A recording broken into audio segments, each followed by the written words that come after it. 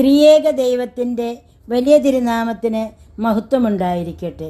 കർത്താവിൽ പ്രിയ സഹോദരങ്ങളെ എല്ലാവർക്കും കർത്തൃനാമത്തിൽ സ്നേഹവന്ദനം. ഇന്നത്തെ നമ്മുടെ ചിന്തയ്ക്കായി എടുത്തിരിക്കുന്ന തിരുവചന ഭാഗം വിശുദ്ധ ലൂക്കോസ് ഏവങ്കേലേസ് എഴുതിയ സുവിശേഷം പതിനാറാം അധ്യായം പത്തൊൻപത് മുതൽ മുപ്പത്തി ഒന്ന് വരെയുള്ള വാക്യങ്ങൾ. വചനത്തിലേക്ക് പ്രവേശിക്കുന്നതിന് മുമ്പ് ലൂക്കോസ് ഏവങ്കേലിയസിനെ കുറിച്ചും പൗലസ് അപ്പോസ്തോലിനെ കുറിച്ചും അല്പമായിട്ട് ചിന്തിക്കാം. സിറിയയുടെ തലസ്ഥാനമായ അന്ത്യോക്യയിലാണ് അദ്ദേഹത്തിന്റെ ജന്മദേശം. പൗലോസ് അപ്പോസ്തോലന്റെ രണ്ടാം മിഷണറി യാത്രയിൽ അദ്ദേഹത്തിന് ഒരു രോഗം പിടിപെട്ടു ഈ അവസരത്തിൽ നാം എല്ലാവരും ചെയ്യുന്നത് പോലെ അദ്ദേഹവും ഒരു ഡോക്ടറിന്റെ അടുക്കൽ ചികിത്സയ്ക്കായി പോകുന്നു. ആ ഡോക്ടറാണ് ഡോക്ടർ ലൂക്കോസ്. അദ്ദേഹം തന്നെയാണ് ഇവിടുത്തെ സുവിശേഷകനും. എന്നാൽ പൗലസപ്പോസ്തോലിനെ കുറിച്ച് നാം ചിന്തിക്കുമ്പോൾ അദ്ദേഹം കിലിക്കിയായിൽ തർസോസ് എന്ന പ്രസിദ്ധ നഗരത്തിലെ പൗരനായ ഒരു യഹൂദനായിരുന്നു. അപ്പോസ്തോല പ്രവർത്തികൾ ഇരുപത്തിരണ്ടാം അധ്യായം മൂന്നാം വാക്യത്തിൽ പറയുന്നത് ഞാൻ കിലിക്കയിലെ തർസോസിൽ ജനിച്ച യഹൂദനും ഈ നഗരത്തിൽ വളർന്ന് ഗമാലിയേലിന്റെ കാൽക്കലിരുന്ന് പിതാക്കന്മാരുടനായ പ്രമാണം സൂക്ഷ്മതയോടെ അഭ്യസിച്ചവനും ആണ് എന്നാണ്. ഇവരുടെ രണ്ടുപേരുടെയും കൂടിച്ചേരൽ രണ്ട് സൗഖ്യത്തിന് കാരണമായി തീർന്നു എന്ന് വേണം പറയുവാൻ. പൗലോസ് അപ്പോസ്തോലന് ശാരീരിക പ്രശ്നങ്ങൾ മാറി എന്നതും പൗലോസ് അപ്പോസ്തോലന്റെ അടുക്കൽ ലൂക്കോസേവെങ്കേലിയോസ്ത വന്നതുകൊണ്ട് ലൂക്കോസേവെങ്കേലിയോസ്തയുടെ ആത്മീക പ്രശ്നങ്ങൾ മാറി എന്നതുമാണ്. ഈ രണ്ട് സൗഖ്യങ്ങൾ. ഇങ്ങനെ അവരുടെ രണ്ടുപേരുടെയും കൂടിച്ചേരലുകൾ രണ്ട് സൗഖ്യങ്ങൾക്ക് കാരണമായി.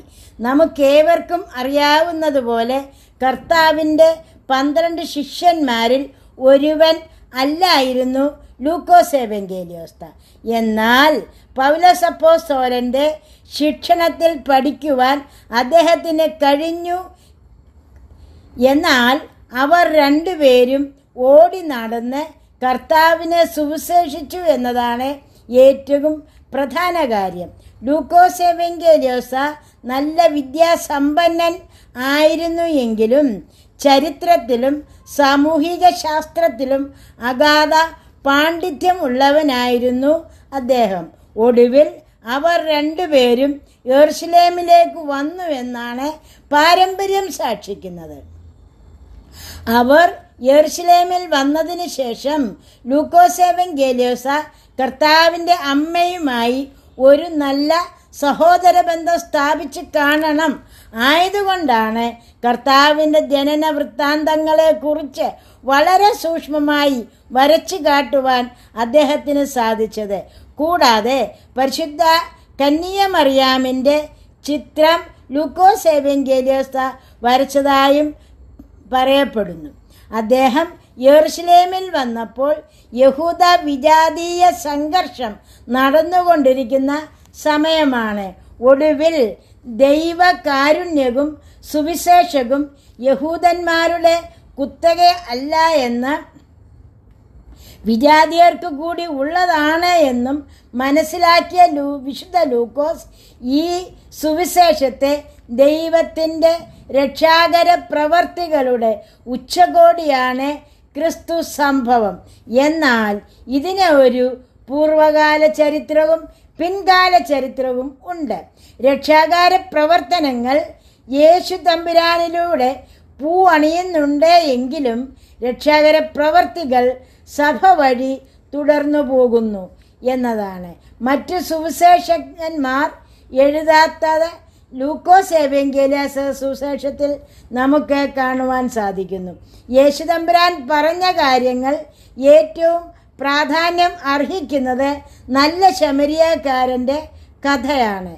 ഇവിടെ പറയുന്ന ധനവാന്റെയും ലാസറിന്റെയും കഥ നമുക്ക് വളരെ സുപരിചിതമാണ്. ധനവാൻ ധൂമ്രവസ്ത്രവും പട്ടും ധരിച്ച് ദിനംപ്രതി ആഡംബരത്തോടെ സുഖിച്ച് ജീവിച്ച ആളായിരുന്നു.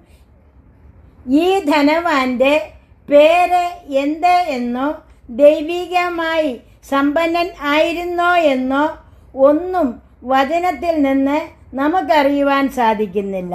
എന്നാൽ ദരിദ്രനായ ആ മനുഷ്യന്റെ പേര് ലാസർ എന്നായിരുന്നു. എന്നും അദ്ദേഹം വ്രണം നിറഞ്ഞവനായി ധനവാന്റെ പടിപ്പുരയ്ക്കൽ കിടന്ന് ധനവാന്റെ മേശയിൽ നിന്നും വീഴുന്നതും തിന്നെ വിശപ്പടക്കുവാൻ ആഗ്രഹിച്ചു എന്നുമാണ് വചനം സാക്ഷിക്കുന്നത്. തന്നെയുമല്ല നായ്ക്കൾ വന്ന് ലാസറിന്റെ വ്രണം നക്കും എന്നും പറഞ്ഞിരിക്കുന്നു. ഇവിടെ ഒരു ദിവസം രണ്ടുപേരും മരിക്കുന്നതായി കാണുവാൻ സാധിക്കുന്നു.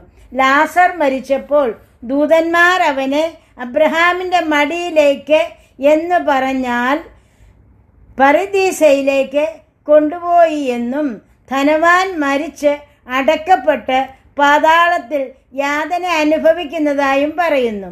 ഈ യാതനയുടെ നടുവിലാണ് ധനവാന് മുകളിലോട്ട് നോക്കുവാൻ അവസരം ലഭിച്ചത്. ആ സമയം കാണുന്ന കാഴ്ച വളരെ ഭയാനകമായിരുന്നു എന്ന് വേണം പറയുവാൻ. ധനവാൻ മുകളിലോട്ട് നോക്കുമ്പോൾ അബ്രഹാം പിതാവിന്റെ മടിയിൽ ലാസറിനെ കാണുന്നു. ഇപ്പോഴായിരിക്കും ധനവാന് പ്രാർത്ഥനയ്ക്ക് അവസരം ലഭിക്കുന്നത്. ഇവിടെ അദ്ദേഹം പറയുന്നു അബ്രഹാം പിതാവേ എന്നോട് കരുണ തോന്നേണമേ എന്ന്. ഭൂമിയിൽ ആയിരുന്ന കാലം മൊത്തം സുഖിച്ചു പുളച്ച് അഹങ്കാരത്തോടെ കഴിഞ്ഞ ആൾ കണ്ണിമ വെട്ടുന്ന നേരത്തോടെ ഭയചകിതനായിത്തീരുന്നു. തന്നെയുമല്ല ഒരു അഭയയാചന കൂടി നടത്തുന്നതായി നമുക്ക് കാണുവാൻ സാധിക്കും. ലാസറിന്റെ വിരലിന്റെ അറ്റം വെള്ളത്തിൽ മുക്കി എന്റെ നാവിനെ ഒന്ന് തണുപ്പിക്കേണ്ടതിന് അവനെ അയക്കണമേ എന്നാണ് യാചിക്കുന്നത്. സാധ്യമല്ല എന്ന മറുപടിയാണ് മുകളിൽ നിന്നും ലഭിക്കുന്നത് നിത്യജീവിതത്തിൽ നിത്യതയുടെ പ്രകാശം വിവേകപൂർണമായ ഒരു ദൂരക്കാഴ്ചയിലൂടെ അനുഭവിക്കേണ്ടതാണ്. ഓരോ ഭൗതിക നന്മകളും ധനവാൻ ദൈവരാജ്യത്തിൽ കടക്കുന്നതിനേക്കാൾ ഒട്ടകം സൂചിക്കുഴയിലൂടെ കടക്കുന്നത് എളുപ്പമെന്ന് ലൂക്കോസ് എവങ്കേലിയസാട് സുവിശേഷം പതിനെട്ടാം അധ്യായം ഇരുപത്തി അഞ്ചാം വാക്യത്തിൽ പറയുന്നു. ഇവിടെ നാം മനസ്സിലാക്കണം. അത്യല്പത്തിൽ വിശ്വസ്തനായവനെ അധികത്തിൽ വിശ്വസ്തൻ ആക്കുന്നവനാണ് സ്വർഗത്തിലെ ദൈവം. ആയതുപോലെ തിരിച്ചും അത്യല്പത്തിൽ നീതികെട്ടവൻ അധികത്തിലും നീതികെട്ടവൻ തന്നെയാണ്.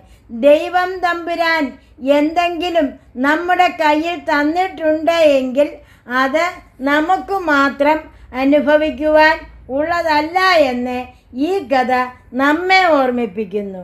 കർത്താവിന്റെ താലന്തുകളുടെ ഉപമയിൽ ഇത് നമുക്ക് കാണുവാൻ സാധിക്കും. ഒരു വാതിൽ എന്നത് അകത്തേക്കും പുറത്തേക്കും പോകുവാനുള്ള ഇടം മാത്രമല്ല പിന്നെയോ അത് അപരനിലേക്കും ഉള്ള വഴിയാണ്.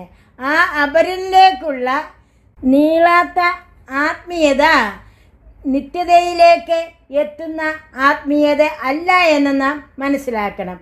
പ്രിയമുള്ളവരെ നാം ഈ ലോകത്തിൽ ജീവിക്കുമ്പോഴുള്ള വ്യവഹാരങ്ങളാണ് നമ്മെ നിത്യതയിൽ എത്തിക്കുന്നത്.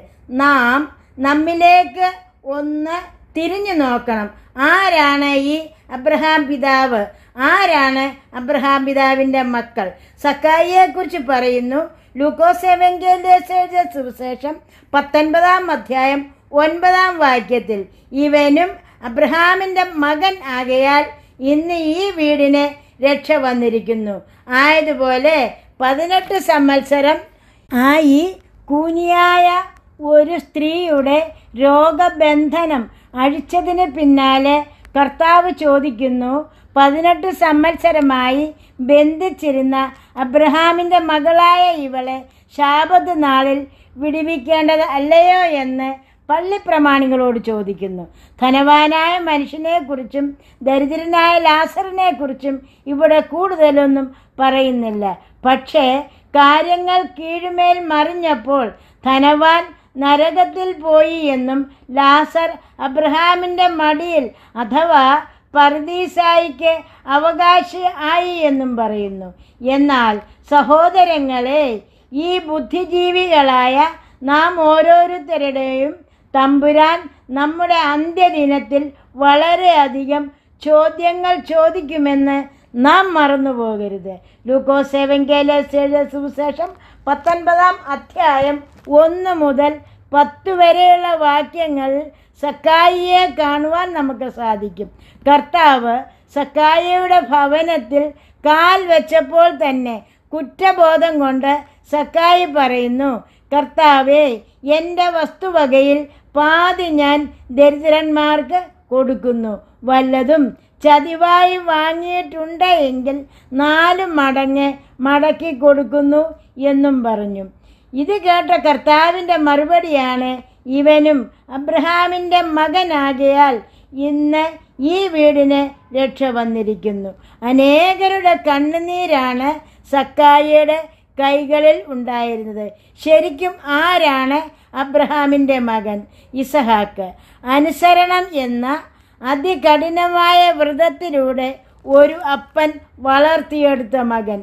അബ്രഹാമിന്റെ മകൻ എന്ന് പറഞ്ഞാൽ പുറമേ കാണുന്ന ഭക്തിയല്ല ചതിച്ചും വഞ്ചിച്ചും വാങ്ങിയതെല്ലാം തിരികെ നൽകി സ്വയം ദരിദ്രനായി മാറുവാൻ തീരുമാനിക്കുന്നവൻ അനുസരണത്തിന്റെയും താഴ്മയുടെയും കുടുമുടി കയറിയവൻ. ഇങ്ങനെയുള്ളവരെയാണ് അബ്രഹാമിന്റെ മക്കളാകുവാൻ അവകാശം. നമ്മുടെ ഭക്തി പുറംപൂച്ചാകാതെ ഇരുപ്പാൻ മദർ തെരേസ പറയുന്നു മുറിയപ്പെടുന്നത് വരെ കൊടുക്കണമെന്ന്.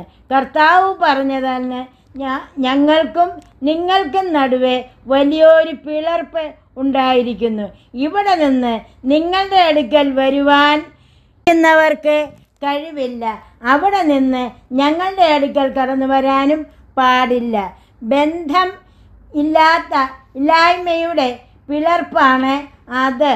നാം ഈ ഭൂമിയിൽ ജീവിക്കുമ്പോൾ എല്ലാവരോടും ദൈവിക കേന്ദ്രീകൃതമായ ഒരു ബന്ധമുണ്ടെങ്കിൽ അവിടെ പിളർപ്പുണ്ടായിരിക്കുകയില്ല എല്ലാവരെയും സ്നേഹിക്കുന്ന എല്ലാവരെയും പരിഗണിക്കുന്ന എല്ലാവരോടും ബന്ധം പുലർത്തുന്ന ഒരു സ്നേഹം. അതാണ് ദൈവം നാം ഓരോരുത്തരിൽ നിന്നും ആഗ്രഹിക്കുന്നത്. അതാണ് ദൈവരാജ്യം. അങ്ങനെയുള്ള ഒരു ബന്ധം ധനവാനും ലാസറും തമ്മിൽ ഉണ്ടായിരുന്നില്ല. സ്വന്തം കാര്യം നോക്കി മാത്രം ജീവിച്ചു. ലാസറിനെ പരിഗണിക്കാത്തത് കൊണ്ട് ദൈവം ശിക്ഷിച്ചുവെന്ന് അതിനെ നാം കരുതരുത്. പലരും പല രീതിയിലാണ് അതിനെ കാണുന്നത്. ഇത് ഒരു മുന്നറി നമുക്കുള്ള ഒരു മുന്നറിയിപ്പ് മാത്രമാണ്. നീ വളരെ സുഭിക്ഷമായി ജീവിക്കുന്നു എങ്കിൽ നമ്മുടെ ഗതിയും ഇതായിരിക്കും. ഇവിടെ സുഭിക്ഷമായി ജീവിച്ച് നല്ല ഒരു ഫ്യൂണറൽ കിട്ടിയാലും നല്ല വലിയ സ്മാരകങ്ങൾ പണിതാലും ഗ്രനൈറ്റിൽ കൊണ്ട് വലിയ വലിയ സൗധങ്ങൾ ഉണ്ടാക്കിയാലും ദൈവം നമ്മുടെ ബന്ധമില്ലായ്മയിൽ നിന്ന് നിനക്ക് ഒരു നേട്ടവുമില്ല. അങ്ങനെയെങ്കിൽ നിന്റെ ജീവിതം പാഴാണ് അതിന് നമുക്ക് സംഗതിയാകാതിരിക്കട്ടെ എന്നുള്ള പ്രാർത്ഥനയോടുകൂടെ പിതാവിന്റെയും പുത്രന്റെയും പരിശുദ്ധാത്മാവിന്റെയും നാമത്തിൽ തന്നെ അമ്മീൻ. നിങ്ങൾ ആദ്യമായിട്ടാണ് ഈ ചാനൽ കാണുന്നത് എങ്കിൽ ദയവായി സബ്സ്ക്രൈബ് ചെയ്യുക. നിങ്ങളുടെ അഭിപ്രായങ്ങളും നിർദ്ദേശങ്ങളും ദയവായി ഞങ്ങളെ അറിയിക്കുക. നന്ദി നമസ്കാരം.